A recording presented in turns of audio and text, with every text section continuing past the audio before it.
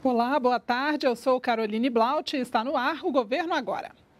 O Ministério da Saúde lançou hoje a campanha anual de incentivo ao aleitamento materno. A iniciativa marca o início da Semana Mundial de Amamentação.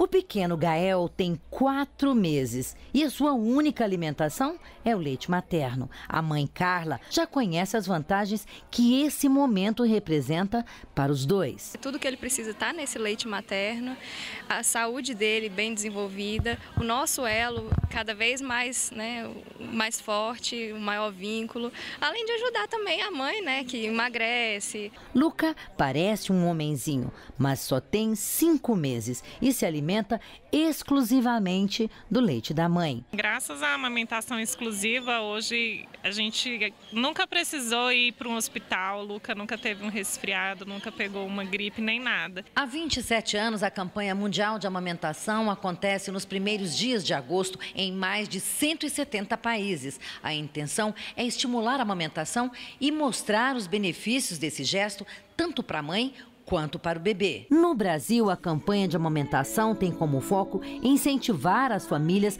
a dar suporte à mãe nos primeiros meses de vida do bebê. Para o ministro da Saúde, Luiz Henrique Mandetta, o aleitamento materno é uma agenda prioritária. Tanto que o governo estuda usar o tempo médio de amamentação como um dos índices para destinar recursos à atenção básica. Estamos investindo quase 3 milhões e meio nessa campanha nos diferentes meios de comunicação estamos aumentando o número de hospitais amigos da criança, estamos abrindo é, parcerias com rede privada para que eles façam as, redes, as salas de amamentação. E quando nós tivermos a, a discussão sobre pagamento variável da atenção básica, a amamentação vai ser um dos pilares. E o ministro da Saúde adiantou ainda que será anunciado nesta quinta-feira o programa Médicos pelo Brasil.